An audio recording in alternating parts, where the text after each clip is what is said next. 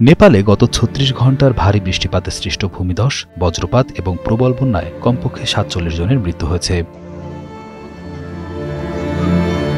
বেশ কিছু মানুষ বন্যায় ভেসে গিয়েছেন বা মাটির নিচে জীবন্ত চাপা পড়েছেন। এছাড়া বারো জন আহত হয়ে হাসপাতালে চিকিৎসাধীন রয়েছেন। রবিবার নেপালের কর্মকর্তারা জানিয়েছেন, বৃষ্টিপাতের কারণে মূল সড়ক ও মহাসড়ক বন্ধ হয়ে গিয়েছে। নেপাল পুলিশের মুখপাত্র ডান বাহাদুর কার্কি জানিয়েছেন, প্রবল বন্যায় অন্তত আটজন নিখোঁজ রয়েছেন।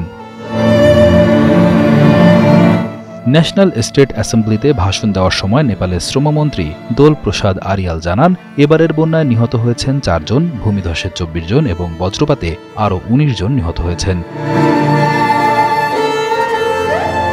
এতে মোট মৃতের সংখ্যা দাঁড়িয়েছে সাতচল্লিশ জনে।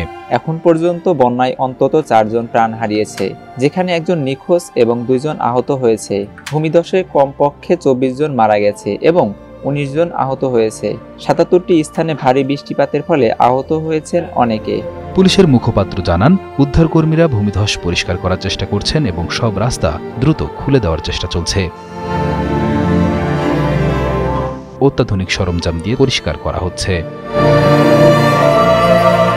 হিমালয়ের দেশ নেপালে বর্ষা মৌসুম শুরু হয় জুন মাসের মাঝামাঝি। প্রতি বছরই প্রাকৃতিক দুর্যোগে প্রাণহানির ঘটনা ঘটে।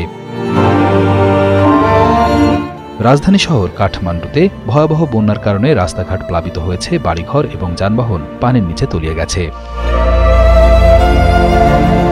বাসিন্দাদের তাদের দৈনন্দিন কাজগুলো করতে বন্যার পানির মধ্য দিয়ে যেতে বাধ্য করছে। গতকাল থেকে বৃষ্টি হচ্ছে এবং লোকেরা তাদের বাড়িঘর থেকে বের হয়ে গেছে। সেখানে শিশু এবং বয়স্করা রয়েছে। এটি আমাদের জন্য নতুন নয় তবে সময়টি ভিন্ন। এই বছরের জুলাইয়ের শুরুতে ভারী বৃষ্টিপাতের ফলে বন্যা শুরু হয়েছে। পানির স্তর আমাদের হাঁটু অবধি পৌঁছেছে। এভাবে বৃষ্টিপাত চলতে থাকলে আমাদের প্রাণ বাঁচাতে এলাকা ছাড়তে হবে। প্রতিবেশী দেশ ভারত ও বাংলাদেশেও বন্যায় বড় আকারের ক্ষতি হয়েছে এবং লাখ লাখ মানুষ ক্ষতিগ্রস্ত হয়েছেন।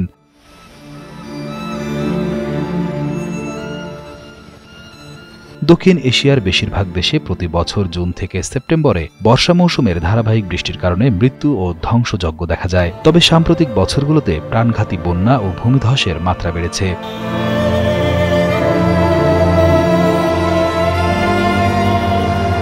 বিশেষজ্ঞদের মতে, জলবায়ু পরিবর্তন ও সড়ক নির্মাণের সংখ্যা বেড়ে যাওয়ায় বন্যা ও ভূমিধসের মতো প্রাকৃতিক দুর্যোগের মাত্রা বেড়েছে।